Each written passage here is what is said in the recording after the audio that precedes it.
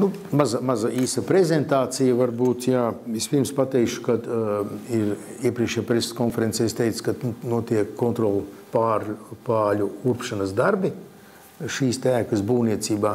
Uh, desmit kontroli pāļi ir ierupti, ierupti un viens ir noslogots. Nu, tad gaidīsim, kādi būs tie rezultāti. Cerams, ka nevajadzēs pāļus dzīt dziļāk, jo tas nozīmē vairāk naudas automātā. Uh, jā, nu tad faktiski uh, vienu sekundi atpakaļ. Šajā ēkā, šajā ēkā ir divas, diva virziena aktivitātes. Ir zinātnes centrs un ir inovācija centrs. Inovācija zinātnes centra uh, līgumu par zinātnes centra būvniecību izmantojot Eiropas struktūra fondu naudu parakstīja kādu mēnesi atpakaļ, bet inovācija centra būvniecības līgumu ar Eiropas Savienības līdzfinansējumu parakstīja pagājušajā nedēļā. Nu, lūk, tagad es divos vārdos pastāstīšu, kas tas tāds par zvēru. Ēka būs tāda vizuālā izskatā. Tad inovāciju eh, centrs ir, ir virzīts uz to, lai atbalstītu uzņēmēju darbību, līdz ar to, lai tur būtu arī jaunas darba vietas, darba vietas mūsdienīga infrastruktūra, tad jaudīgs interneta pieslēgums, un mēs priekšroku dosim īrēji IKT nozari saistītajām kompānijām, darba devējiem. Nu, plānots, ka uh, inovācija centra būvniecība jāpabeidz pēc diviem gadiem, 22. gada beigas. Nu, kā tur celtniekiem ies, to mēs redzēsim. Bet nu, tur mēnesis tur vai šup tas dzīve neko nemaina. Ejam tālāk. Tātad šī projekta, inovācija centra projekta finansējums, kā redzat, Eiropas fondi ir 5,2 miljoni, valsts budžets 0,2 un 2,4 ir pašvaldības finansējums. Tātad nu, mūsu tad iznāk viena piektā daļa ir pašvaldības finansējums. Ne vienas, viena piektā, bet viena ceturtā. Un uh, Piesaistītais finansējums ar finansējums ir 3 ceturdaļas. Tā, tālāk. Nu, būvniecībā uz, uzvarēja pilnsabiedrība LNK Industrija Group. Nu, pie mums viņa tādas sabiedriskas ēkas nav būvējušas. Mums nav īsta priekšstata par viņu uh, spēju uzbūvēt kvalitīvi. Nu, cerams, ka viņiem tāda ir, jo nekādas atlaides par kvalitāti nebūs. Mums ir svarīgi iegūt augstas kvalitātes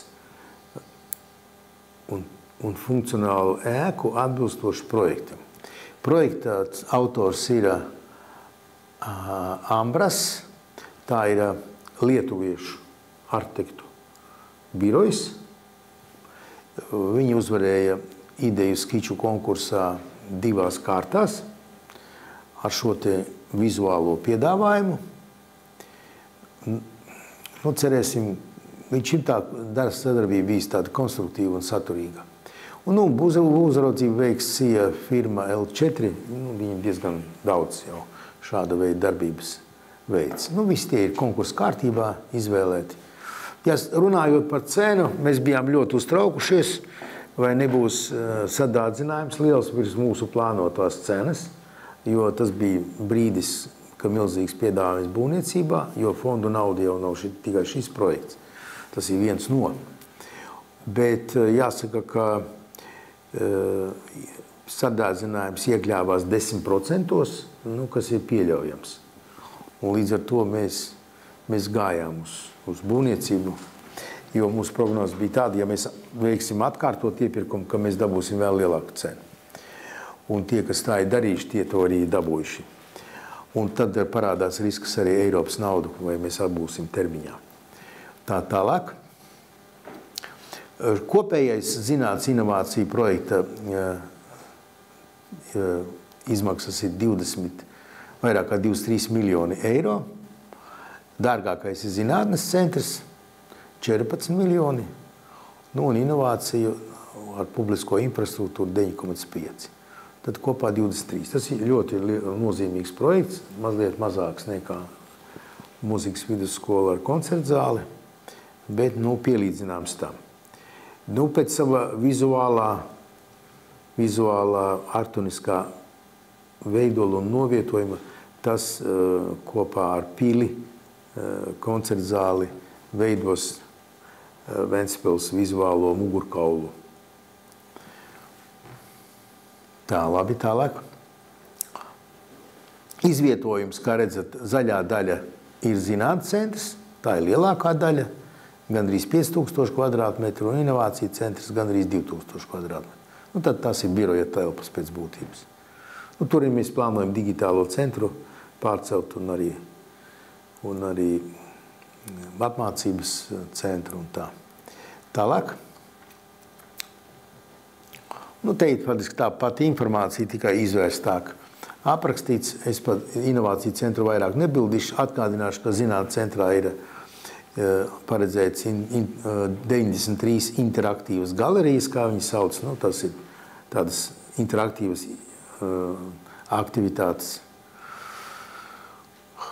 Nu, lūk, nu, un visādas atbalsta, atbalsta lietas. Tālāk. Nu, te ir tāda zinātnes centra iespējamā vizualizācija. Jāsaka, ka mums par, par to konkursu uz